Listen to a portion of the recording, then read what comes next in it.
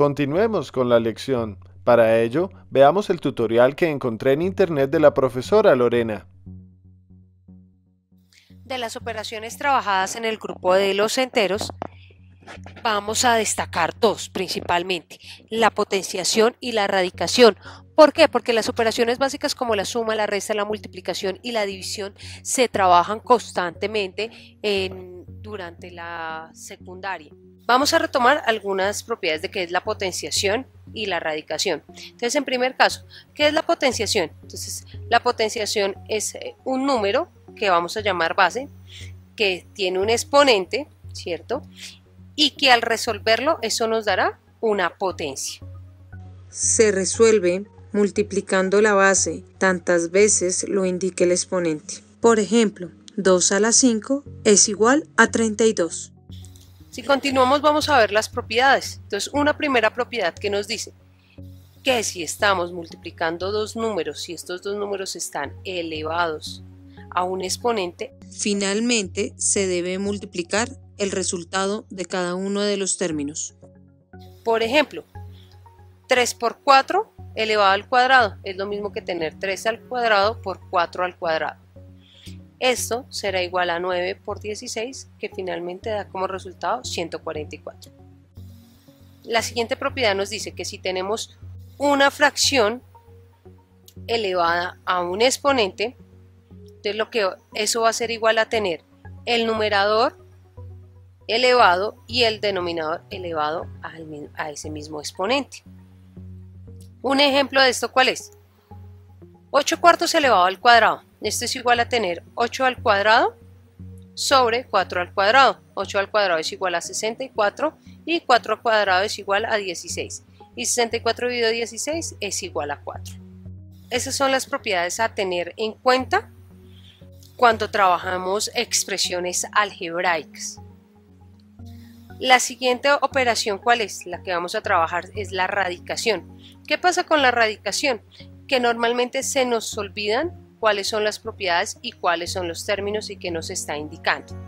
Entonces, la radicación se compone de los siguientes términos. Entonces tenemos un índice, que es el numerito que aparece en el radical, afuerita del radical o donde hace la curva del radical, por decirlo de alguna manera, ese índice cuando es 2 no se coloca. Se sobreentiende que es una raíz cuadrada. El radicando, que es el número que está dentro del radical, ¿qué vamos a hacer? Vamos a buscar un número b que multiplicado n veces por sí mismo del número que está dentro del radical. ¿Cuáles son las propiedades? Bueno, antes de eso vamos a ver un ejemplo. Raíz de 4 es igual a 2. ¿Por qué? porque 2 por 2 es igual a 4. En este caso también habría lugar a decir que la raíz de 4 es igual a menos 2 por menos 2. ¿Por qué? Porque menos por menos más y 2 por 2, 4. Entonces la raíz de 4 no solo es 2 positivo, sino también puede ser 2 negativo. Vamos a ver algunas propiedades. Cuando yo tengo la raíz enésima de 0, ¿esto que traduce? Que independiente de cuál sea el índice que tenga, la raíz de 0 siempre va a ser 0. Lo mismo pasa con la raíz de 1. Es independiente del índice, del índice que es lo que nos interesa, que tenga el radical, si es 1 el radicando, su resultado siempre va a ser 1. La siguiente propiedad nos dice que la raíz cuadrada de un radicando va, va a ser cierta cuando ¿qué? cuando el valor de ese radicando sea un número mayor que 0. Aquí nos está dando la condición si m es mayor que 0. Si no cumple con esta condición, no me sirve. Eso traduce que m debe ser siempre un número positivo. Si su índice es un número par. ¿Cuándo no va a existir el valor para una raíz? O no es que no exista, no va a tener un valor real. Cuando el radicando sea un valor negativo. Si es negativo, no existe el número real no existe una solución en el conjunto de los reales. Si tenemos un índice impar, como en este caso tenemos al 3, va a tener solución el radicando si es positivo o si es negativo, no va a tener ningún inconveniente. ¿Por qué? Porque va a haber un número que multiplicado tres veces por sí mismo me dé el resultado. En este caso tenemos 8. La raíz cúbica de 8, ¿cuál es? 2, porque 2 por 2, 4 por 2, 8. Y la raíz cúbica de menos 8, menos 2, ¿por qué? Porque menos 2 por menos 2, menos más 4. Y más 4 por menos 2, menos 8. Entonces esa va a tener solución en los, en los reales, si el índice es impar. La siguiente propiedad me dice que si yo tengo un radical elevado a un exponente que es igual al índice, en este caso miren, n es el exponente y n es el índice, eso es igual al radicando. Si yo tengo raíz cuadrada de 2 a la 2, eso es igual al radicando en este caso, que es 2.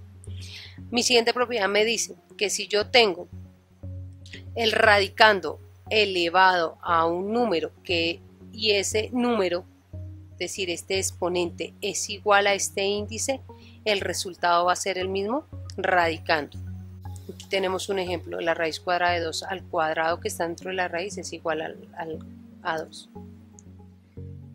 Si yo tengo el producto de dos números dentro del radicando, eso es igual a tener cada uno de esos factores en la raíz. Entonces, la raíz enésima de b por c es igual a la raíz enésima de b por la raíz enésima de c.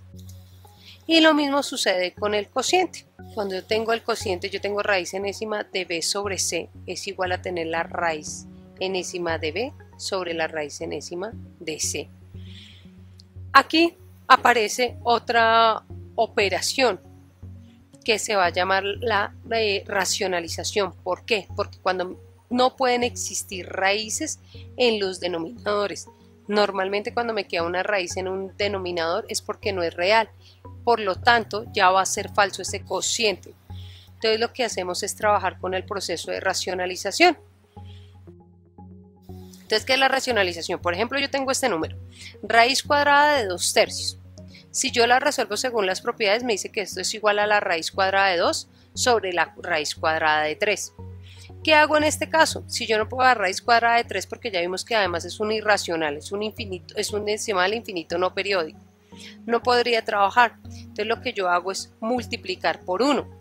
Pero ¿cómo voy a multiplicar por 1? Voy a multiplicar por 1 diciendo que tengo raíz de 3 sobre raíz de 3. Recuerda que si yo tengo un número dividido el mismo número, eso es igual a 1. Entonces lo que hago es multiplicar por el mismo. Entonces me quedaría raíz de 2 por raíz de 3 y raíz de 3 por raíz de 3. Esto es igual a que tener que en el numerador me va a quedar, mire, tengo la misma raíz, el índice es el mismo, es cuadrado. Recuerde por la propiedad que acabamos de ver. Entonces eso es como si estuviera en un solo radical, es como si tuviera 2 por 3. Y aquí abajo si yo digo raíz de 3 por raíz de 3 es lo mismo que tener raíz, raíz cuadrada de 3 al cuadrado. Por propiedad ya sabemos que esto se va a cancelar. Vamos a ver el siguiente ejemplo. Entonces, tenemos raíz de 5 sobre 8. Por propiedad ya sabemos que esto es igual a la raíz de 5 sobre la raíz de 8.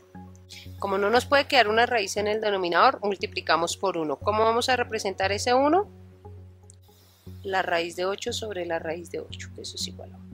Es igual a tener la raíz de 5 por la raíz de 8 es igual a la raíz de 40.